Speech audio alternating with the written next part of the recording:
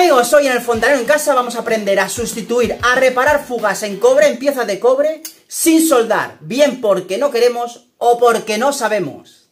Aquí tenemos este supuesto, un codo que nos está goteando, puede estar empotrado o bien visible, y lo primero que tenemos que hacer es cortar un tramo de cada lado. Vamos a cortar, por ejemplo, 10 centímetros de cada lado.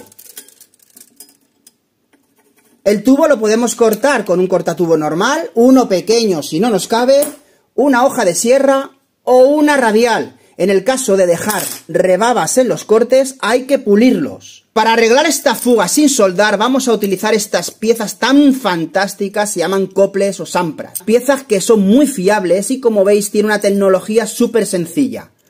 Un anillo retentor y una tuerca que es lo que va a hacer presión para que el anillo no deje fugar nada de agua con la tubería. Primeramente vamos a medir cada uno de los tramos. Me está diciendo que aquí necesito una tubería aproximada de 11 centímetros y medio. Y ahora lo que vamos a utilizar es un manguito y el codo para ponerlo y poder marcar este otro tramo. Podemos introducir la pieza aflojando la tuerca y metiendo a tope. O también soltando todo y metiendo. En el caso de que no quepa, lo veis que no cabe, vamos a utilizar un truco. Si no podemos mover la tubería, pues igual está rígida y no, no entraría. Pues vamos a utilizar un truco. En los manguitos, en su interior, ahora lo voy a enseñar, tiene como un tope. Ahí en el interior.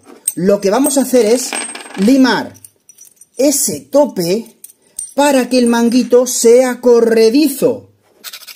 Ya le hemos quitado el tope y ya es corredizo. Mirad lo que vamos a hacer. Marcamos hasta donde entra la tubería, no vaya a ser que se nos vaya muy para los lados. Y ya podemos introducir ese manguito, la tubería y llevar el manguito hasta el punto que hemos marcado.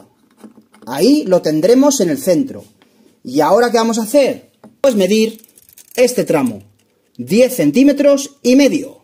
Ya tenemos nuestro trocito de tubo.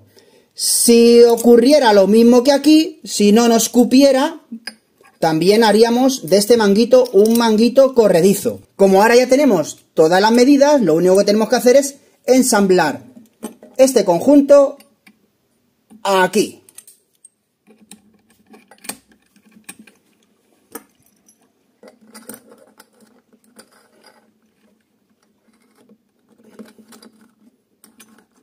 Ya tenemos todo colocado en su sitio, el manguito en su lugar.